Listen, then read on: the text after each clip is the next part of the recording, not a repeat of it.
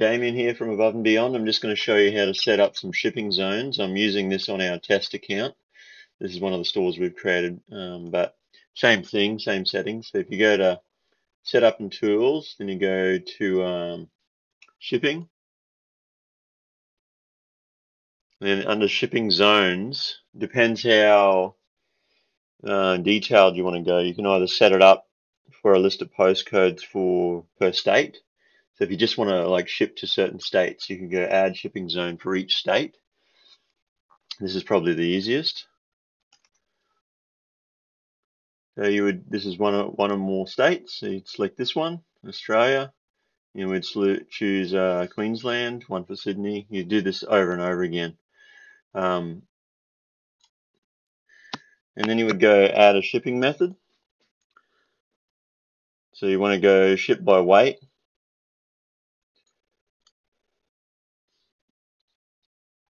And the, you would start off so between zero kilos and five kilograms it's going to be ten dollars. Between five and 10 kilograms it might be 15 10 to 15 kilograms it might be 20 you could just change these yourself. And you would keep going and going. This value here is for anything that falls outside of these ranges. So you might want to go $25 click save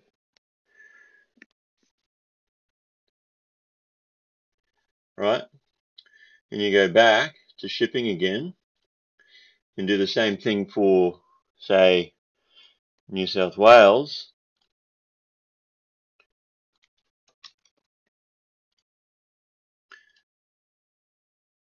But we might want to change the rates and make them a little cheaper for New South Wales.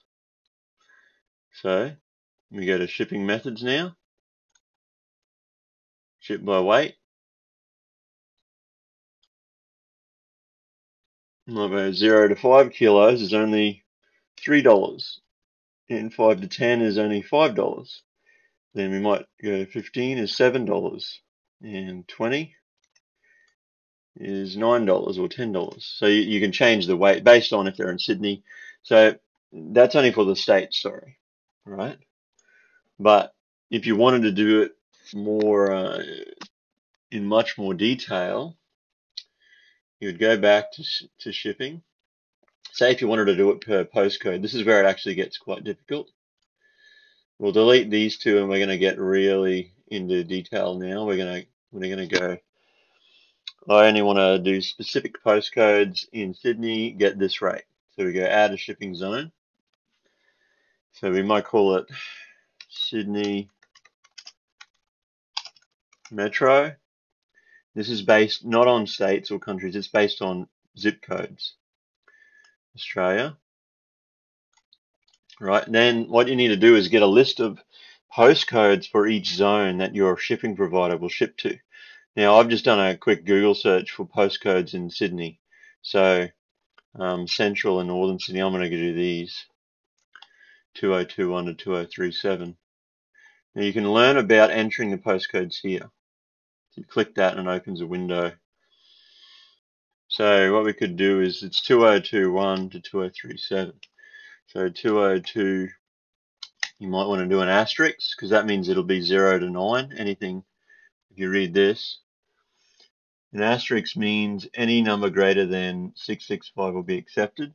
We'll sub, and this one will substitute any number but only in the place that is in question. So 0 to 9 can be in the place of a question mark. So I should have used a question mark if you want.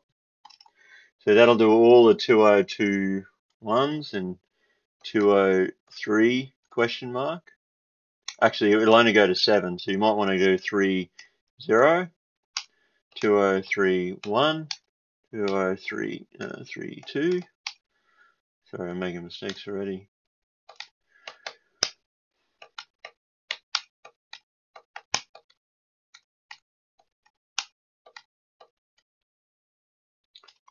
Right? So that'll do 2021s and, oh sorry, and all the way up to 2037. So then you would save that, and that's going to only only those postcodes, but you'd probably get, we haven't done these, we haven't done them. So you really need a list, a proper list of them that you can just copy and paste in there, and you need to get them off your post um, whoever's doing your shipping. Like I've had it from TNT or Fastway Couriers before. And you've got to basically do that. So say this is for Sydney Metro and we've, we've done all the postcodes. You click next and it's the same deal. You do ship by weight.